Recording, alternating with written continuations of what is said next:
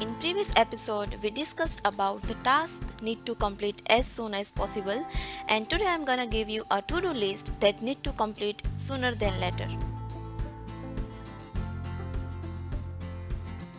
Hello and welcome back.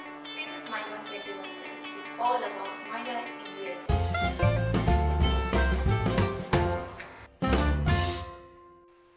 First, activate utilities services. After shifting in the apartment, then some tasks need to do on high priority.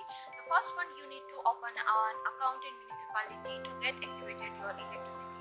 And then there are some utilities uh, will be activated by your community management like water, garbage and sewage and sometimes gas if needed.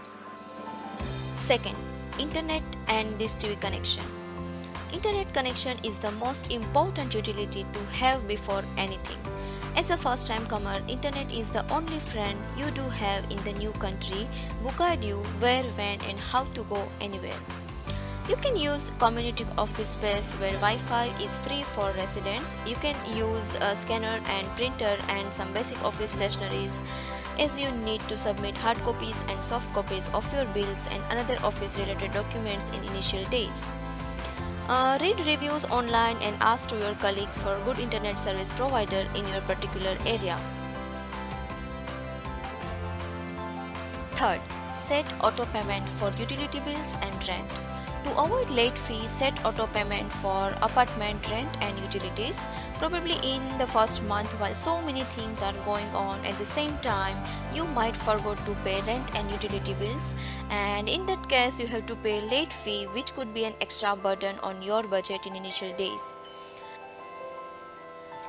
The fourth one is buy groceries and households. After shifting in your own apartment, you might be craving for homemade food for sure.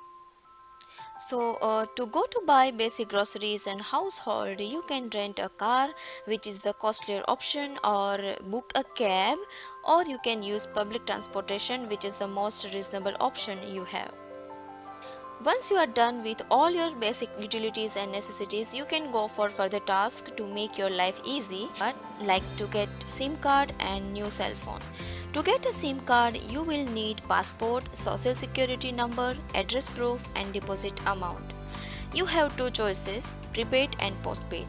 You may be asked for deposit if you are going for postpaid plan as you do not have history. It is not a bad idea to go with it if you have long-term plans to stay in US or you can uh, add your account with your friend's account and make it a family plan. Next, credit cards. After opening a bank account, the next thing regarding financial aspect is to apply for credit cards. First, you should ask the bank that you opened an account to issue you a secured credit card. It is nothing but a credit card that is given by the bank for less amount like $500 by taking cash from you as a deposit. You should apply for unsecured credit cards with other finance agencies side by side. Nowadays, some agencies give unsecured cards without any credit history, but it all depends on situations. This is very important step for building your credit history. You will need to have a good credit history to take any car loans, personal personal loans or mortgage etc. Next, store membership card. I would like to suggest that before buying major household and groceries, just have a store membership card from where you're gonna purchase your stuff because uh, you are supposed to buy your most of the stuff in initial months only so you can optimize these cards and your annual membership fees would be worth to pay.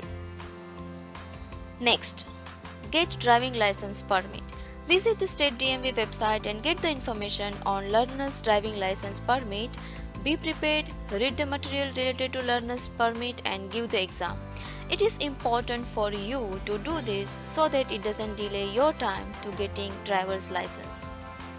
Then the last but not the least, car. Start looking for a car, car finance and insurance companies.